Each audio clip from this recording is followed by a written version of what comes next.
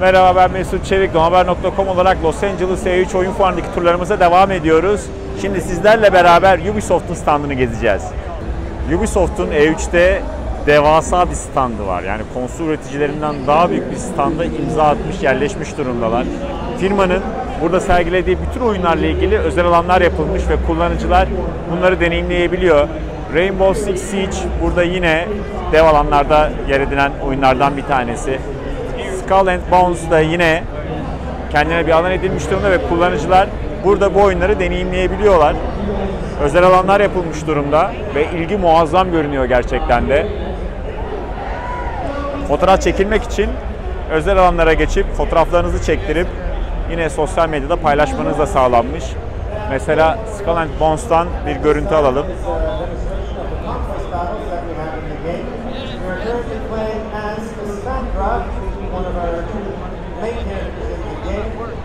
Deniz Savaşları'nın konu alındığı oyun aslında Assassin's Creed'in sadece denizde geçen versiyonu gibi düşünülebilir. Çok oyunculu bir haritada diğer düşman gemilerini alt etmeye çalışıyorsunuz. Gemi savaşları son dönemde oyun dünyasının ilgisini çeken konulardan biri ve hepsi bu konuyla ilgili bir şeyler yapmayı deniyorlar. Assassin's Creed Odyssey'de yine burada devasa bir alanda gösterimde Dev ekranlar zaten bu fuarın olmazsa olmazlarından bir tanesi. For Honor'da biliyorsunuz yeni eklentiyle gündemde. Ubisoft For Honor'ı kolay kolay unutmayacak gibi görünüyor. Şurada devam edelim. Trials Rising'de artık motosikletlerimizle aşılması zor olanları daha da aşılması zor bir şekilde göreceğiz. Evet, For Honor'da oyuncuların deneyimlerini de size şöyle göstermeye çalışayım tekrar. Oldukça fazla ilgi var. Kullanıcılar sırada bekliyorlar. Ve içeride de yine birçok oyuncu oynarken görebilirsiniz. Devam edelim turumuza. Starlink yine firmanın iddialı oyunlarından bir tanesi, iddialı olduğu oyunlardan bir tanesi. Bakalım ne yapacaklar.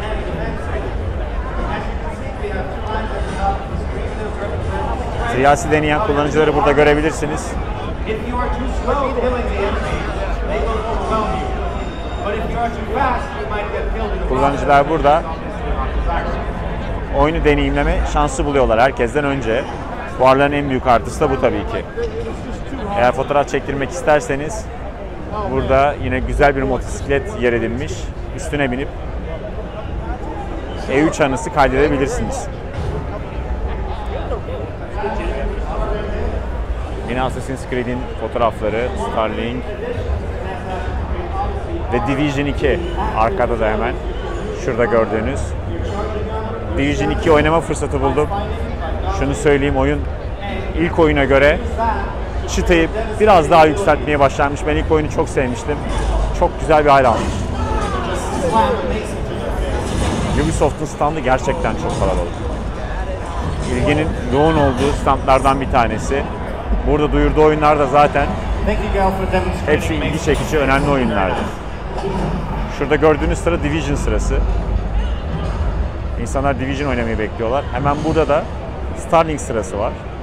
Starlink'e de şöyle bakacak olursak eğer şurada göstermeye çalışayım sizlere oyun deneyimlerini.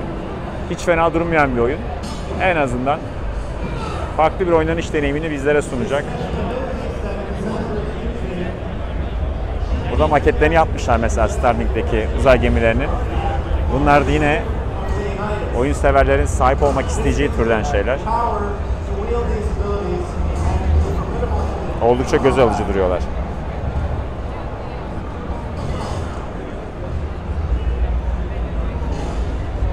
Gerçekten devasa bir an. Görmeniz lazım. Mükemmel. Evet Ubisoft standı ile ilgili gösterebileceklerim bunlardı. Gerçekten çok büyük, görülmeye değer bir stand yapmışlar buraya.